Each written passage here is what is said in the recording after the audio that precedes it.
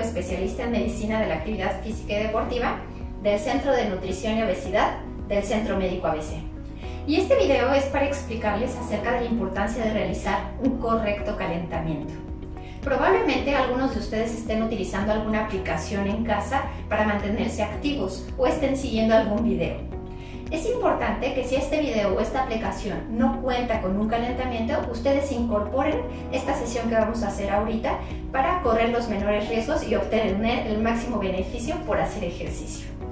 Un adecuado calentamiento involucra movilizaciones de cabeza a pies y aproximadamente debe tener una duración de 5 a 10 minutos.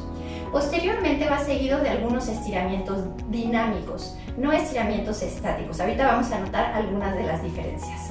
Entonces, yo voy a hacer menos repeticiones por características del video, pero recuerda que tu adecuado calentamiento tiene que tener una duración entre 5 y 10 minutos. Vamos a empezar con movilizaciones de cabeza, arriba y abajo. Luego, llevar el mentón hacia el hombro oreja hacia el hombro, hombros arriba y abajo como si dijeras no sé, adelante y atrás como si te hicieras conchita y extiendes los brazos, círculos de hombros hacia adelante, círculos de hombros hacia atrás,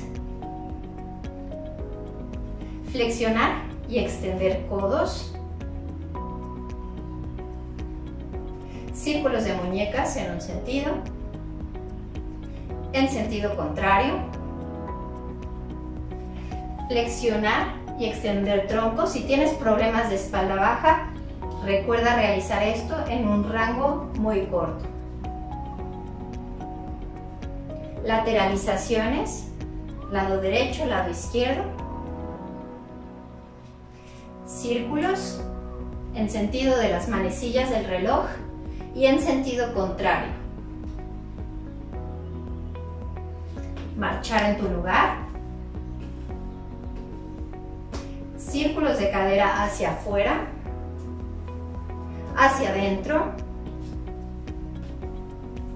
Flexionar y extender rodillas procurando que no se hiperextiendan las mismas. Siempre déjalas con una leve semiflexión círculos de tobillos en sentido de las manecillas del reloj y en sentido contrario. Alternamos el pie.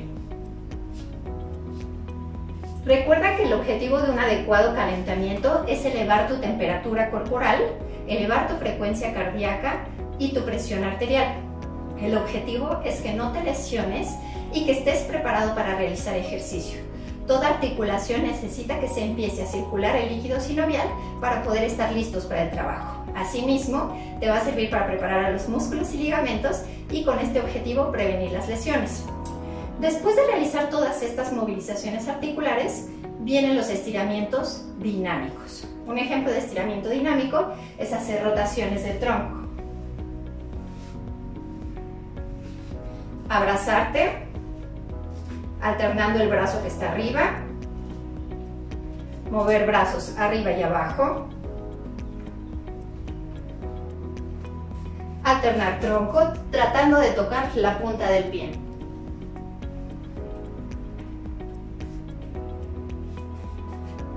Subir y bajar tocando el piso.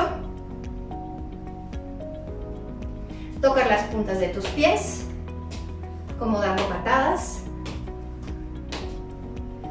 patadas hacia atrás o las famosas caperuzas. Espero que este video te haya sido de utilidad y recuerda, el objetivo del ejercicio es que obtengas los máximos beneficios con los menores riesgos. Entonces es importante que realices un adecuado calentamiento.